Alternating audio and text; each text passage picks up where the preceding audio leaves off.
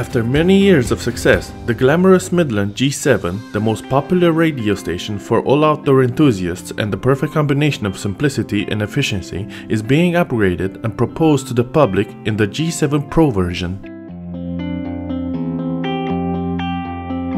Modern design is the first novelty that attracts the attention, as well as the ample size of the new screen, which considerably improves its visibility.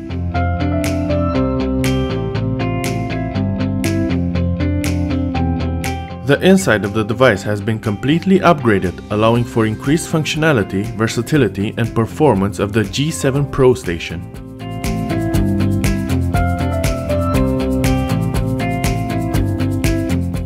First, the two PTT buttons allow you to select the transmit power between high and low or side tone to eliminate disturbing noise at the end of the transmission if used with other stations that have the same function. Even the sound quality has been improved to provide clearer communication.